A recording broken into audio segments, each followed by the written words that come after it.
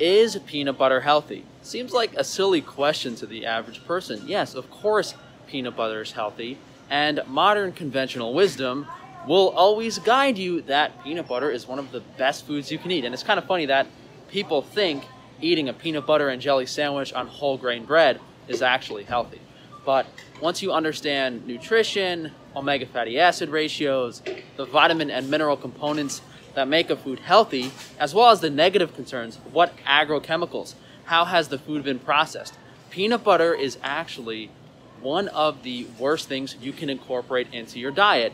And yeah, there's omega-6 concerns, there's lack of nutrient concerns, but we have to talk about the mold and the toxins and all of the chemicals that are sprayed on this crop and that grow on the crop as it's processed. You know, imagine you have this giant storage facility full of peanuts that were wet in the field, they're growing mold on them, they have all types of bacteria, rats, fecal matter, a lot of negative things on this peanut butter. And all you really have to do is have a slightly sensitive gut to understand how bad some of these peanut products can be. You know, have one little thing fried in peanut oil and your face will break out with cystic acne, just a tiny bit. So, although this jar of peanut butter might seem relatively harmless, the amount of chemicals, bugs, insects, mold, mycotoxins, negative things that will cause oxidative stress, stress your liver, stress your body,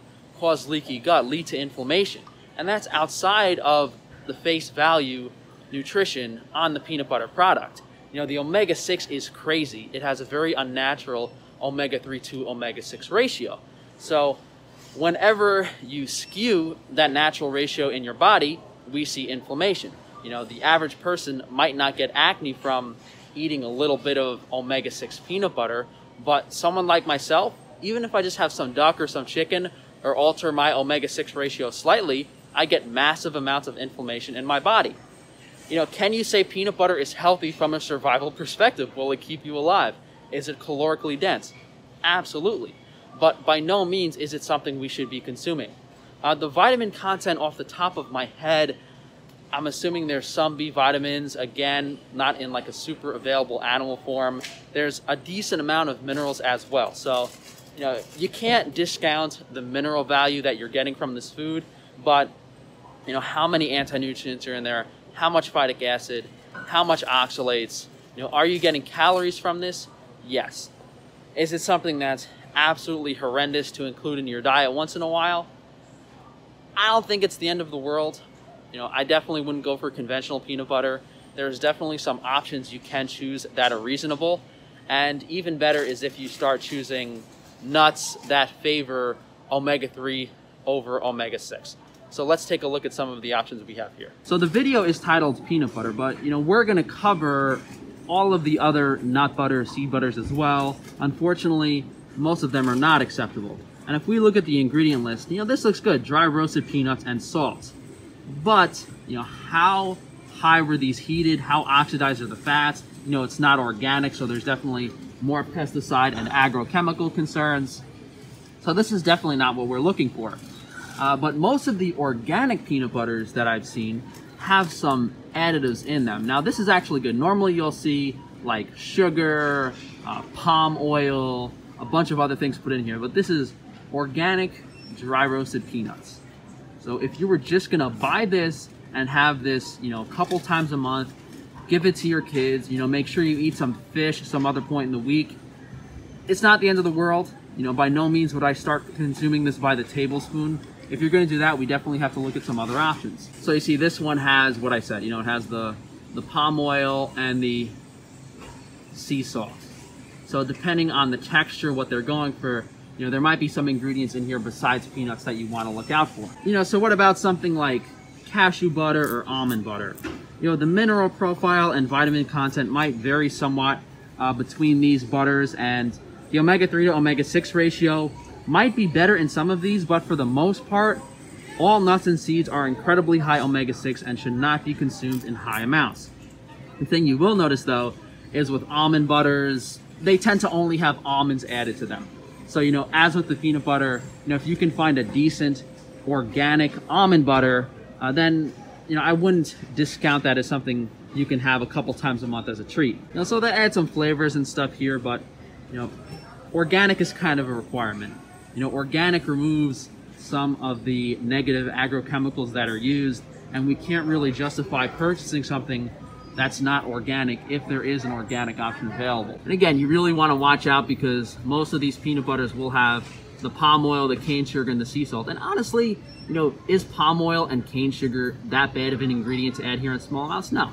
You know, honestly, if you enjoy this creamy peanut butter spread way more than this one that just has peanuts in it, you know, go for that. That's fine. If you're gonna, you know, cheat on your diet a little bit and have something that's not ideal, go for that. Sunflower butters, tahini butters, all incredibly high in omega-6 still.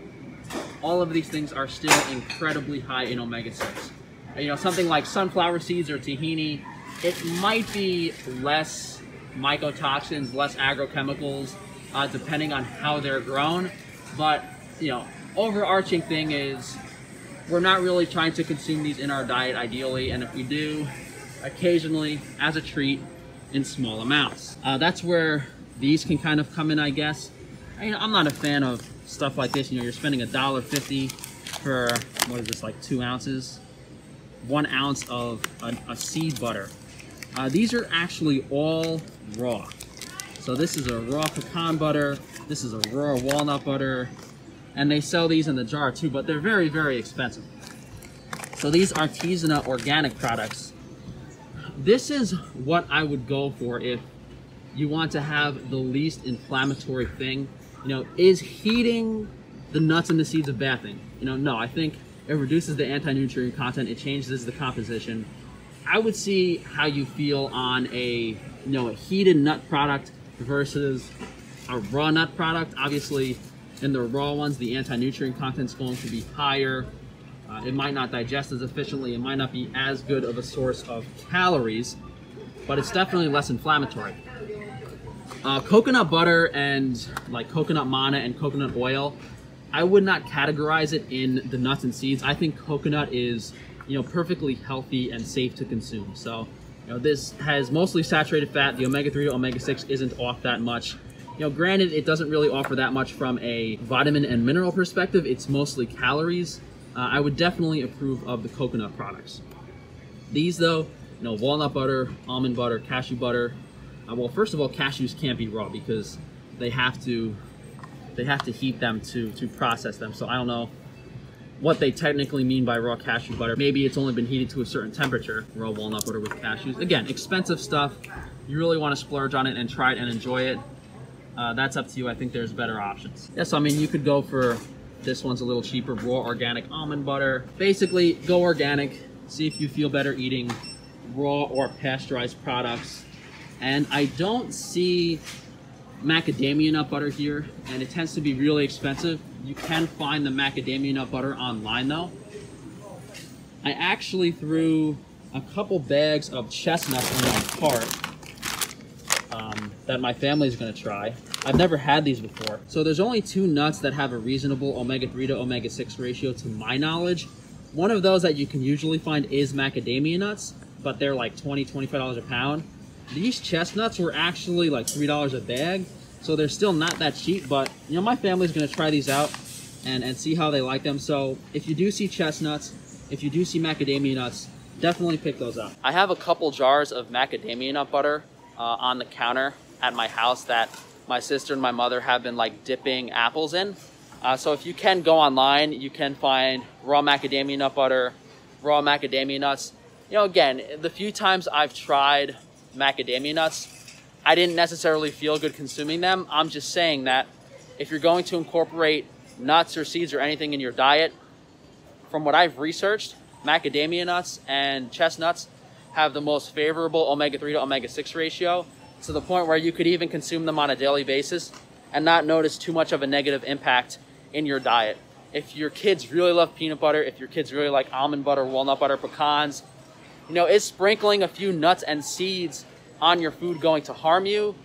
No, I mean, depending on if it's organic or not, how it's processed, it might cause small amounts of oxidative stress and if you're in an altered metabolic state, if you're really unhealthy, if you have a lot of inflammation, it, it might be an issue in the big picture, but what we're mainly focusing on here is, you know, can you incorporate these foods into your diet on a consistent basis in much larger amounts? And oh, when I said those two nuts, the macadamia nuts and the chestnuts, I also meant to include coconut. So coconut, macadamia nut, chestnut, very favorable omega fatty acid ratios. You know, from a vitamin and mineral perspective, we're not getting much. You know, from a gut bacteria microbiome perspective, we're not getting much. They are incredibly calorically dense foods. They're enjoyable. They can add flavor, texture, richness to a lot of dishes. Uh, so this is definitely something you guys can explore and above everything, you know, see how you feel consuming it. The people that are sensitive to foods, you know, tend to be sensitive to certain things.